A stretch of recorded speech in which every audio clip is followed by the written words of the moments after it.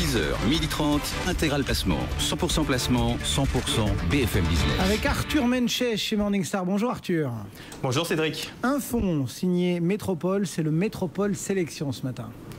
Oui, c'est un fonds d'action européenne proposé par Métropole Gestion, une petite société française qui gère près de 5 milliards d'euros d'actifs à fin 2013. C'est une offre de qualité euh, selon nous, mais elle est plutôt destinée à des investisseurs avertis avec une forte appétence pour le risque. Et qu'est-ce qu'il y a de positif dans ce fonds?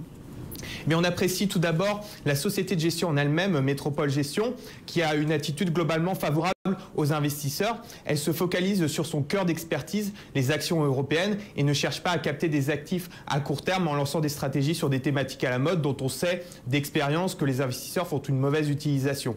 L'autre point positif, c'est l'équipe de gestion stable et expérimentée, avec 17 années d'expérience en moyenne, 7 gérants analystes et dirigée par Isabelle Lévier et Ingrid Travinsky.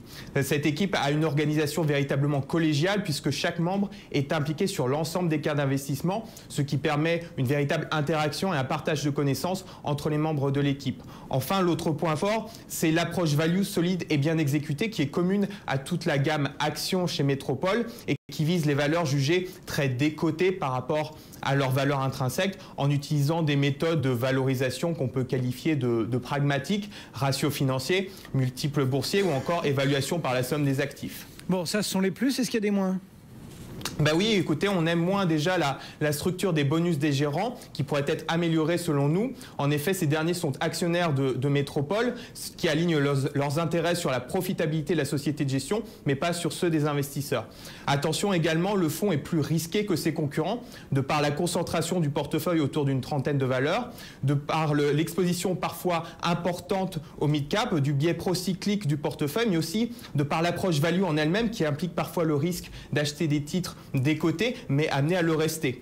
Par conséquent, le fonds peut se retrouver de façon temporaire à la traîne, comme c'est arrivé en 2011 à cause de la détention de titres très cycliques qui ont été malmenés comme Air France et Randstad. On, voit bien que pour profiter d'une stratégie comme celle-ci, il faut mmh. se montrer patient et investir sur le long terme, comme d'habitude. Euh, si Arthur, euh, on essaie d'en tirer quelques conclusions, si on regarde la performance et euh, au final la note que vous attribuez?